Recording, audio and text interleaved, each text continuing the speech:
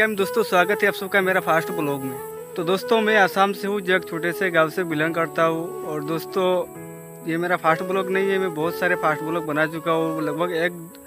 1.5 2 સાલ સે દોસ્તો મેં YouTube મેં મહેનત કર રહા હું લેકિન દોસ્તો કોઈ ભી સક્સેસ નહીં મિલ રહા